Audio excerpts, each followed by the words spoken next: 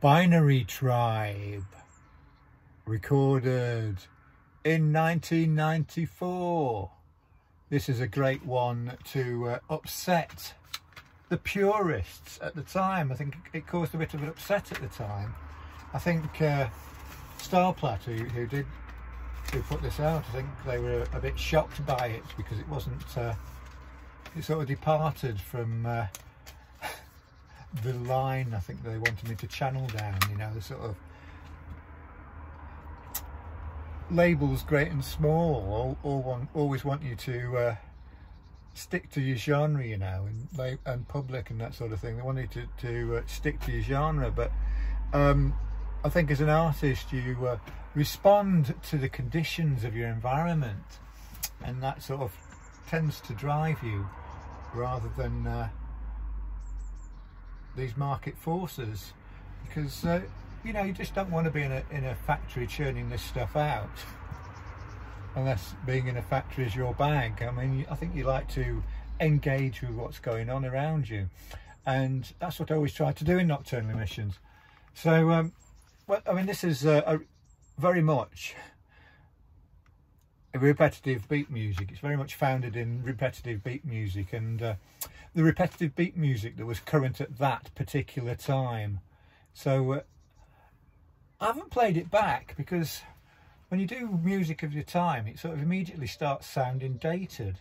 I mean, there's sort of, I was listening to a lot of Orbital and uh, The Prodigy at, at the time and uh, that fed into the music and also immediately before doing this a lot of my equipment had broken down so I'd um, had to find a different way of working. So this is called binary tribe because I was working more with uh, digital programming than I had been doing. Uh, it's not it's not a case of uh, being binary or non-binary. It's uh, a case of working with zeros and ones and uh, the intricacies of programming these uh, little Yamaha synths and little little drum machines that are all linked linked together and working out the sequencing. And uh, yeah I think during the time I was doing this it was sort of they, they brought in all this uh, criminal justice act. And because I sort of uh, I'm usually inspired by rage at the way the world's going. They brought in this act which was specifically to outlaw a genre of music, which was repetitive beat music. And I've been making repetitive beat music on and off.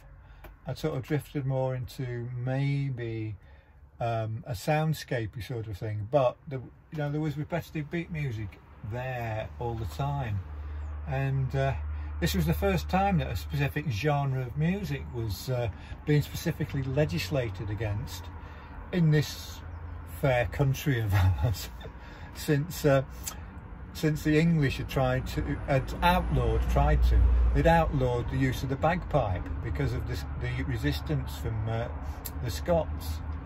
And it's all part of this colonialism you see uh, they wanted they want to make everything into a commodity and because people were having free parties and were enjoying themselves sort of outside of uh, the uh, the restrictions that were laid down to them and they couldn't they were losing on profit so they uh, they clamped down on these all these sort of oppositions like uh, the right to protest. That was sort of was all tied up with this uh, bundle of legislation that came through then. And we marched kill the bill. Then, as now, they brought in another one.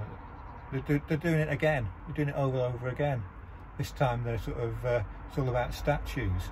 But it's the same, you know, it's all the same. Fuck them.